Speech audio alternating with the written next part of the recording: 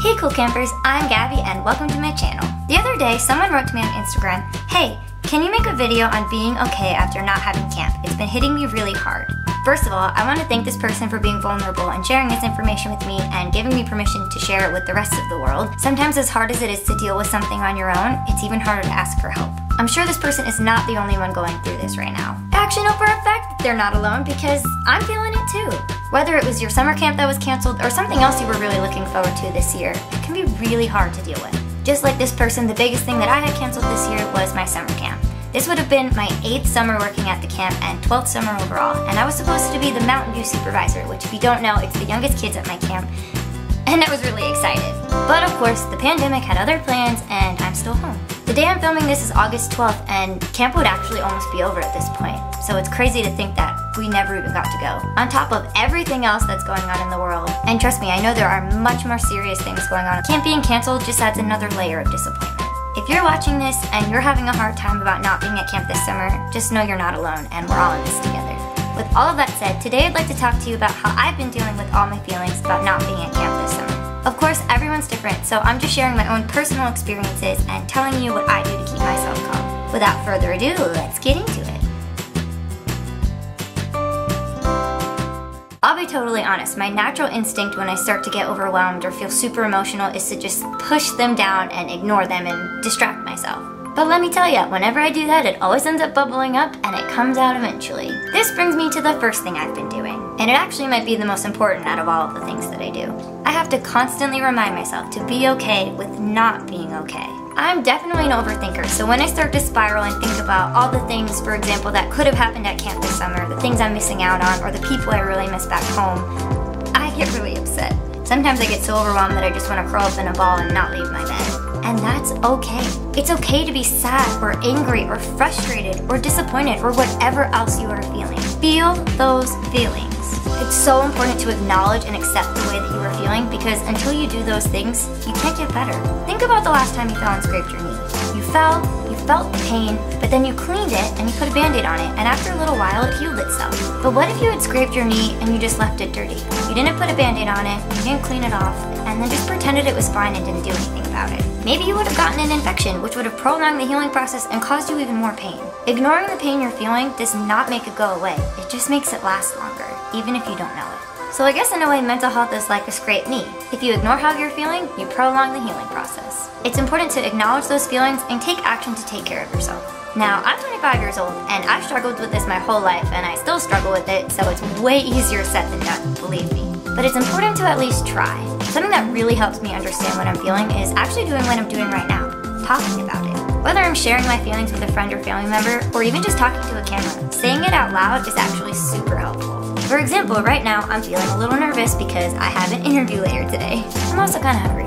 Something else that really helps me when I'm in my feels is to write things down. Just like talking out loud to someone else, writing things down and getting all that stuff out of my brain allows me to figure out what exactly I'm feeling. And then once I know what I'm feeling, I can deal with it. Relating this back to being okay with not being at summer camp, I like to write down all of my stories and then share them all with you because I like to remember the great times I've had instead of just dwelling on the fact that I'm not there right now. It keeps the memories alive beyond just being in my brain. Okay, so you've talked it out, you've written things down, or done whatever else you need to do to acknowledge the feelings. Now what? At least for me, it depends on what I'm feeling that day. One of the main things I found helpful during quarantine is FaceTiming my friends. Sometimes we talk about our feelings, but a lot of the time it's just to catch up. I find this a great way to keep myself happy and to motivate me to get things done during the day. Specifically when it comes to not being at camp this summer, which was the original question, but I keep going off on tangents. Welcome to my life. I have been making an active effort to still be a part of the camp community, even though I can't physically be there this summer. My camp, like a lot of other camps I've heard of, has been doing virtual activities. I can't even count the amount of Zoom calls I've been on in the last few months. It's been so fun getting to participate in whatever my camp has been offering and getting to lead some of those activities too. I always log off feeling so much better. Even if I'm having the worst day, I know that once I do a camp activity, I'm going to feel better. It's also been really cool to get to run the activities because then I get to connect with campers and make their days a little bit better. I Kind of want to switch gears a little bit and let you know some things I do when there aren't activities going on or when my friends can't answer the phone. Or sometimes you're just not in the mood to talk to other people. And that's okay too. When I'm feeling this way, one of my favorite things to do is go on YouTube and just watch videos. I also love making TikToks and making videos, but I sometimes just want to sit around and do nothing, and that requires a lot less effort.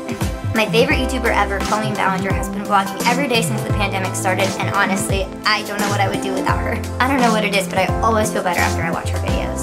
Also, when I'm feeling a bit down, I like to go back through the comments on my TikTok that all of you leave because, I don't know, it just makes me feel nice, you know? Seeing all your positivity and saying that I'm an inspiration, like, no, you are inspiring me. You are the reason I'm doing this, so thank you. Something else I really like to do when I'm not in a good mood is just blast music, sing along, and dance like no one's watching. I guess technically somebody might be watching because the blinds are open sometimes, but whatever.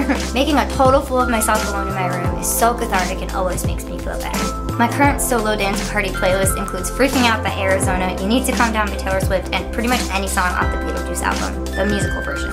This is definitely my favorite coping mechanism because it's so much fun.